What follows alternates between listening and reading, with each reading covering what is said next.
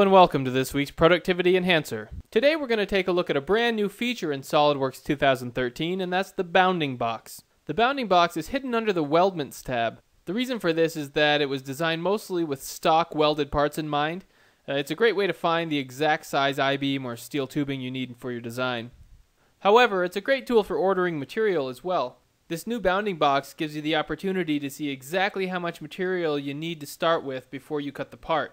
It does this by creating a box that's constrained by how far individual features of the part stretch out into space. So you're left with the stock size of the part, which will save you money and time by knowing the smallest amount of material you can get away with when you're cutting that part.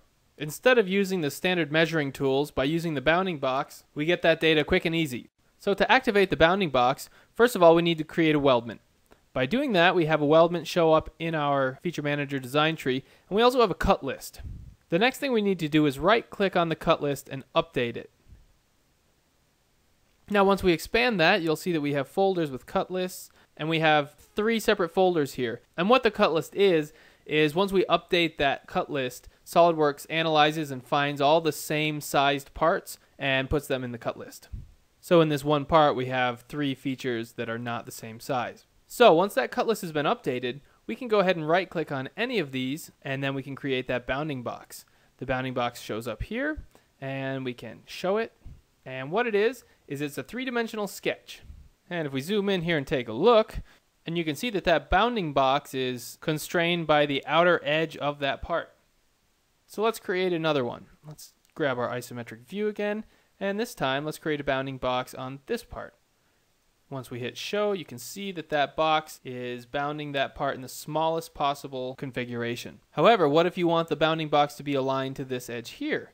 Well, that's no problem. We can just right click on that cut list item and edit that bounding box. So for our reference face, we can choose any face that we want as long as it's planar. So go ahead and see how that switches. And now that's the smallest possible space that this part can fit in if it's oriented in that direction. And again, it's as easy as just choosing a different face and that box automatically orients itself to the face you choose. If we go up, right click on the bounding box, now we can change the color to make it a little more visible. Let's try a red and there you can see it shows up a little better and that's just by changing the sketch color. We can also add a reference dimension now that we have that 3D sketch so we click reference dimension and that's how we can get the exact size of that box.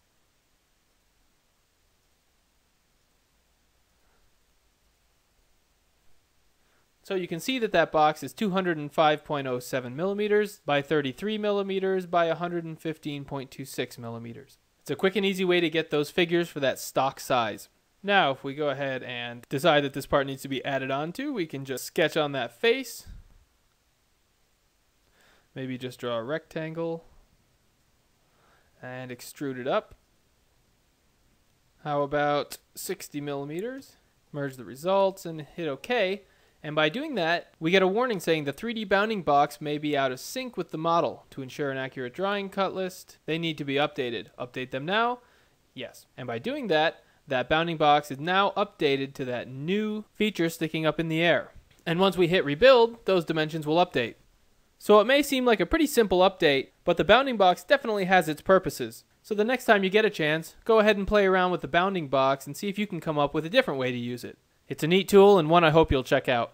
So thanks for watching this week's Productivity Enhancer. Until next time.